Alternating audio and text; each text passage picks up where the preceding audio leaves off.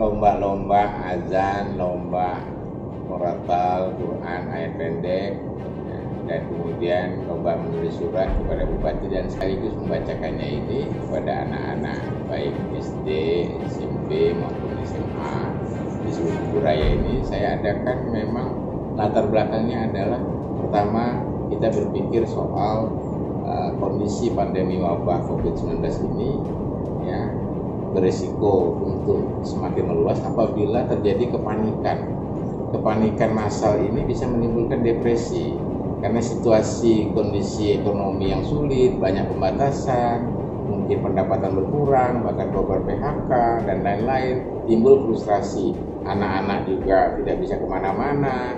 Nah ini saya berpikirnya di awal itu hanya persoalan kepanikan. Saya berusaha berpikir bagaimana ini caranya menghindari kepanikan di setiap rumah tangga agar terbangun suasana yang bersemangat, yang antusias, yang uh, membangun karakter, sekaligus belajar di rumah. Jadi ini sebagai sebuah program di mana belajar di rumah jadi produktif, membangun karakter, imajinasi positif, ya dengan menulis surat dan bacakan tentang masalah pandemi corona ini. Ya, ide-idenya apa? Termasuk lomba azan dan lomba muratal itu azan untuk anak laki, muratal itu untuk anak perempuan, dan mereka bisa menyalurkan bakatnya dalam suasana religius Alhamdulillah suasana religius terbangun dan memasuki Ramadan sangat tepat sekali. Sekaligus juga ini menggaungkan ya, azan di rumah masing-masing dan mereka ingin tampil sehingga anak-anak kita, orang tuanya juga semua terlibat, kakak-kakaknya juga mungkin terlibat bersama adiknya. Mungkin kakaknya SMA ikut, adiknya yang SMP atau SD.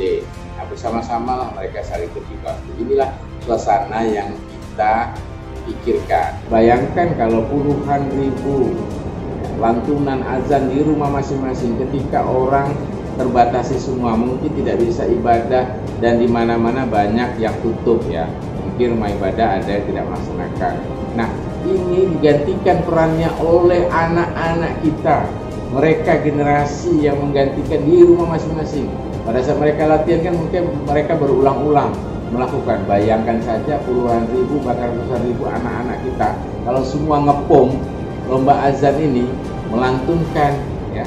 Kemudian muratal Al-Quran pendek mengaji ini tentu akan keyakinan akan meredakan ya meredakan mudah-mudahan mencurkan karena kita yakin makhluk ini juga bertasbih kepada Allah dan kepada Tuhan Yang Kuasa maka insya Allah mudah-mudahan semua akan menjadi tenang imunitas tubuh meningkat makin kuat dan yang paling penting itu sehingga pada akhirnya keyakinan sugesti sehat akan muncul dengan baik.